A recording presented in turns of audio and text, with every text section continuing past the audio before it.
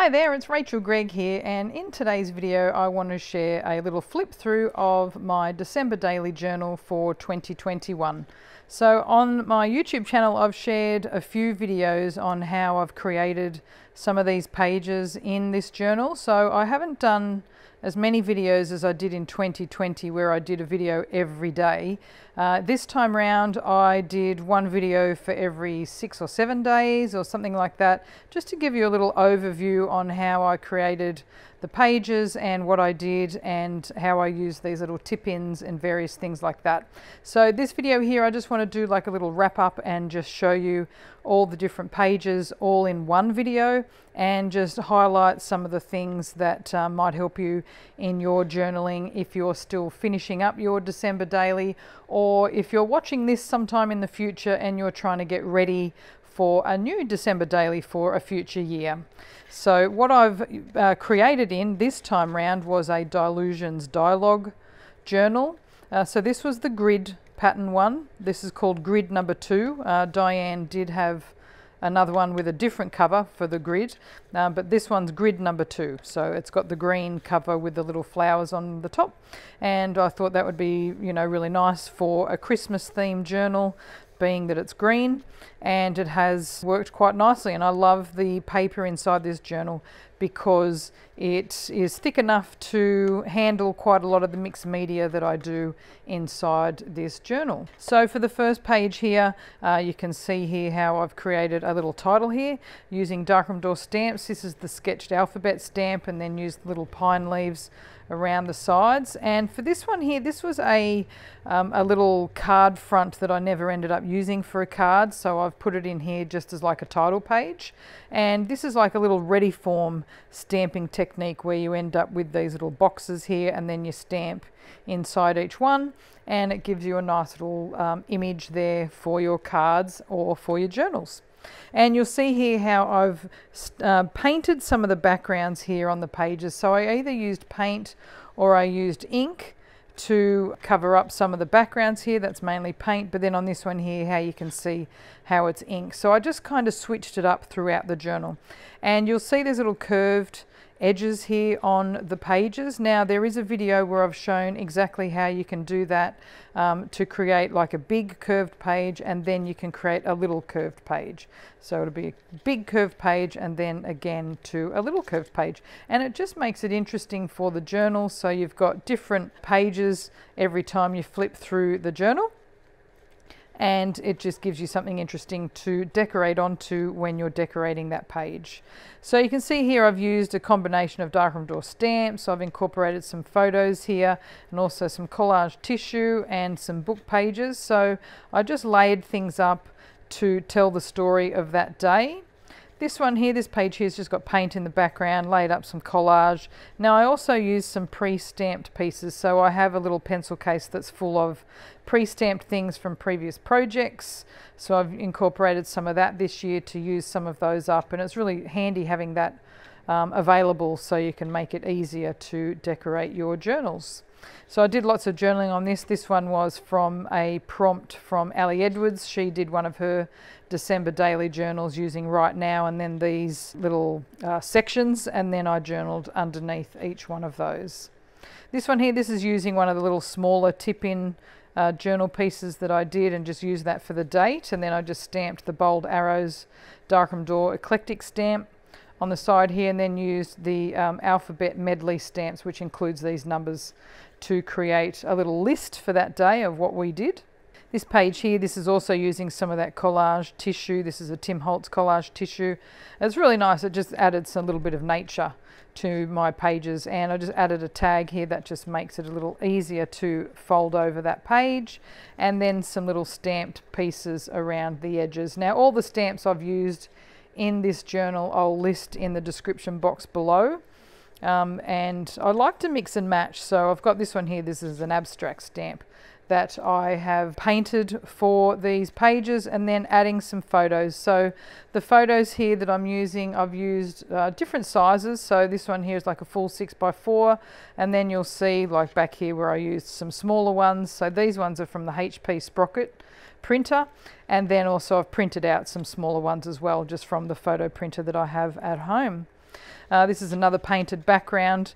Now this one here, this is a little inked background and I used some little inked book pages for this. Another big uh, image here of our advent calendar and then collaged the dates throughout the book. And then I'm just using little bits and pieces uh, from different Christmas stamp sets to decorate the edges and that's what I like about using like little tiny stamps.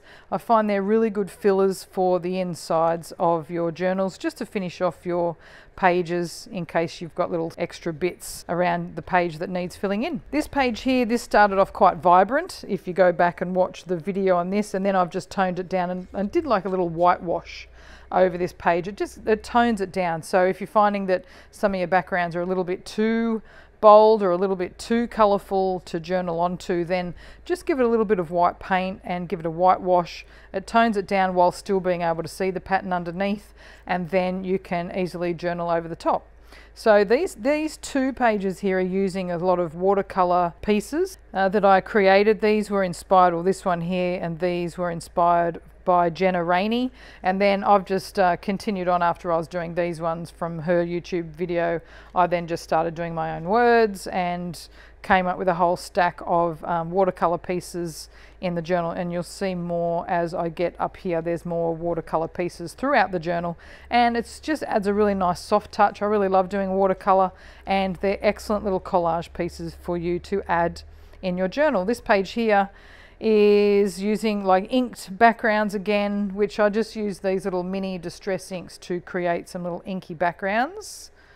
And over here, this is a painted background, and then I stamped over the top using a word block stamp, um, added some book page, and then uh, use these journal blocks. This is from the Everyday Life. I've still got this sitting on the on the table here, an Everyday Life stamp set and that's really um, easy to use to actually put your journaling inside. Added a small photo um, and then this one here, this is using the large carved leaf stencil and it's not necessarily Christmas related so you don't always have to use Christmas supplies in your December daily of course it's just it's all about December so it doesn't matter what you're journaling about it could be about Christmas or it could be just about what's going on um, at that time. So I use a lot of different supplies, but generally try and keep it in kind of the warm red orange tones here and then obviously the greens as well because I still like that red green Christmas feel to it. Um, now this one here, this is like adding a little photo flap into the journal and then creating a little title down here. And this page here, I um, was looking at one of James Burke's Christmas videos on creating or drawing this little gingerbread uh, lady so I did that and then just journaled around it. So that was a nice fun page to do. So I'll also link down to James's videos so you can check that out if you'd like to see how he did that one. Uh, this one here I'm just stamping a whole quote. So usually or up till now I've been doing um, like a page for every double page spread this one here I just did a quote on its own I didn't do any dates so this time round or the next page along I did a double day, so 13th and 14th of December, and then put it all on the one page. So you don't always need to journal on every day. You can mix it up and add some days in as well. Just depends on what pages you have in your book. So this day here was all about uh, completing a jigsaw that we did and then moving along here. This is just yeah general journaling. I was using some tags. And this is just another page of photos here and then just journaling down the side here. So you can journal in all sorts of different ways like just around photos or sideways like this one here or down the little strips that you've got there um, then this one here, I wanted a really bold background for this to go with the little Spider-Man image here that I had stuck in. So I painted the whole background red and then added some little golden uh, pen down there. And then just journaling about that day. This one here, added another little photo flip for this one, I was actually doing a painting, an abstract painting inspired by Laura Horn. I was, yeah, completing that on that day, and then I've just used stenciling around there to finish telling that story. So this one here, this is just another painted background on this side. Uh, and this is all about making gingerbread houses, which is a Christmas tradition that my daughter Zoe has. Uh, this one here is about doing a walk up to Foresters. This is what um, I do a lot of walks around there for getting out into nature. So this was about that day. Uh, now this one here, this is all about uh, Yule and Yuletide and Yule Fest because our family name is Yule. So uh, the 21st is generally considered the uh, winter solstice, which is what uh, or where Yule all originated from. And I was just writing about the story of that. Now I found this uh, really nice image that explained it really nicely, so I've added that into my journal here. And this year we had, or Zoe had, a new uh, cookie cutter set to create this beautiful gingerbread Christmas tree. So that was one of the things she wanted to do this Christmas. And she cooked it up and it tasted absolutely delicious. And uh, so we think we don't know if we can wait till next Christmas before she does another one, but uh, it was very, very delicious. So I took a photo of that once it was all completed and just journaled the story. So these two little journal blocks here are from the journal stamp set. This is one of the very, very earliest stamp sets I designed for Darkroom Door. Um, now we're probably talking about 13 years ago now. Um, and that's still available, so you can still purchase these or this stamp set. Um, it's just called Journal and it's got four little different journaling blocks inside of it and I just used two of them together um, on this page and it's just a really nice way to add some journaling to the page and this one here this is it's from the kitchen stamp set and it's a really nice one to use when you're doing pages all about cooking. So next up, nearly up to Christmas here, so I'll just take a photo of our Christmas tree with the presents underneath and then also added in um, some stamping. Now this one here has, it's, if I lift it up and show you, it's been embossed so it's got that really nice shimmer look to it and then more watercolouring pieces that I created from that um, Jenna Rainey video that I was watching. So I've actually done a tag here. Now this is one of those little small journal pages and I've done a tag there um, over the top and then a photo over the top this way. So it is, you know, a, a larger flap to turn over basically and then got a little uh, tag there as well and one of the Christmas tags that was used for one of the gifts. So more watercolour pieces that I've done here and adding a larger photo of our Christmas day which was spent or some of it was spent on the beach which was fun and the kids both had um, have a cool Yule t-shirts which they found uh, at one of the shops this year, which is always fun because their surname is Yule, so uh, they always find it really funny when we can find some Yule um, items for this time of the year. And just adding lots again, lots of little stars for that little stamping just to fill in the little um, places where it has little spaces.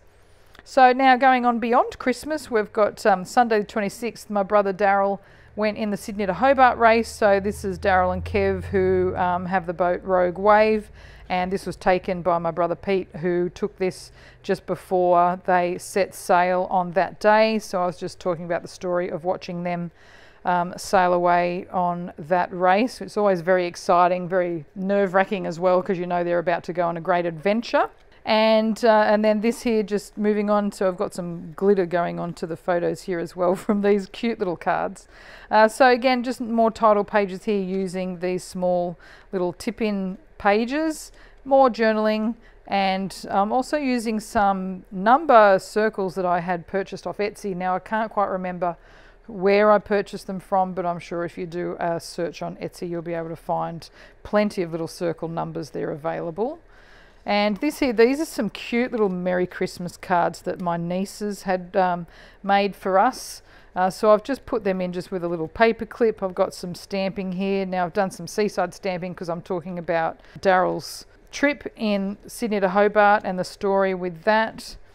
Now I've got some more little photos here of our time at the beach. We're spending a lot of time at the beach at this time of year. More stories here this one here usually has a clip in it, but it doesn't have it at the moment, and I've just usually clipped that in there. This is our little newsletter that we do every year to send out some to some family. And just a photo of Daryl and I just before that was it was taken on Christmas Day, but um, I didn't have room back on that day, so I've just put it in here because I'm talking about uh, Daryl's um, little event there in Sydney to Hobart. And then last page here is New Year's Eve. And I've just decorated this with the party time stamp set from Darkroom Door and also some fireworks stamps, which was out of the celebration stamp set, and finished it off to match up with the beginning. So I wanted to use exactly the same stamp set. So that's the sketched alphabet stamp set and just coloured it in with different uh, distress inks just using a water brush. And that is my journal all complete now for December 2021. If you'd like to see how I created um, these pages more thoroughly, then feel free to check out all the videos in the December Daily playlist, which will show you various bits and pieces, not everything that I've done, but mostly how I've done the backgrounds and then how I've added in all the little different bits and pieces as I have gone along. So I hope this has inspired you. Thanks so much again for watching and have a great day.